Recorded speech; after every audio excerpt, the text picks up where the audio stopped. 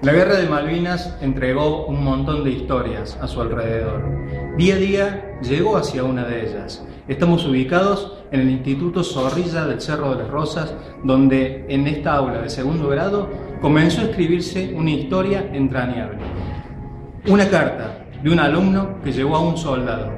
Y hoy, 30 años después, ese soldado le va a devolver la carta a aquel alumno que en 1982 le mandó un mensaje esperanzador y de paz. Para eso estamos con la directora en ese momento, Cristina Banús de Cueto, que bueno, la consigna con los alumnos era muy simple, escribir una carta y mandársela con alguna golosina hacia los soldados. Sí, efectivamente, en la escuela había un espíritu patriótico muy grande que le inculcábamos de los niños muy pequeños. O sea, lo que nos habían inculcado a nosotros toda la vida, que las Malvinas eran argentinas.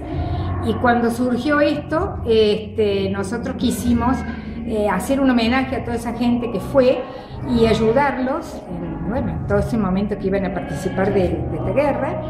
Eh, entonces, con golosinas y con ropa, fandas, eh, guantes, eh, hicimos una campaña en los grados y todos respondieron maravillosamente, padres, docentes y los alumnos. Bueno, y el protagonista de esta historia es Rogelio Castro, que fue aquel alumno que a los siete años escribió una carta y llegó a Malvinas. Aparece un dibujito. Dibujito que yo había hecho hace 30 años, en el cual estaba mi nombre, ¿sí? una dedicatoria en el cual decía que deseaba la paz y que lo quería muy mucho ese soldado. Y cuando recibí ese dibujo, imagínense la emoción, ¿sí? la emoción que tuve mi familia, mis amigos. Así que este, bueno, es una cosa realmente muy emocionante, ¿no? El día de hoy, una cosa que, que todavía no lo...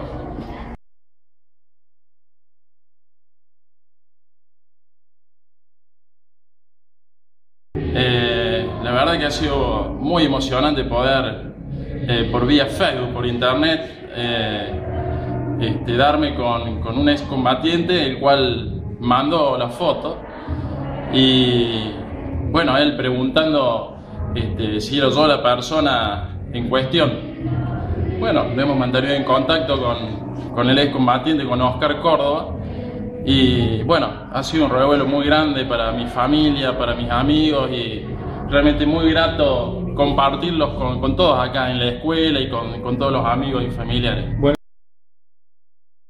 Son todas emociones juntas, una situación la verdad que muy, pero muy, muy linda. Bueno, 30 años después, una historia que vuelve a desempolvarse y indudablemente que eh, alienta, da algo de esperanza, digo, en, en, un contexto en el que, bueno, todos sabemos lo que representa Malvinas, su causa, su historia para nosotros los argentinos y hoy aquí en Córdoba, a través de una pequeña carta de un alumno que allá por 1982 escribió a un combatiente, volvió a desentrañarse y volvió a ser parte ¿no? de esta historia que bueno, a todos nos llega muy de cerca. Para día a día hemos estado aquí con una historia más sobre la guerra de Malvinas.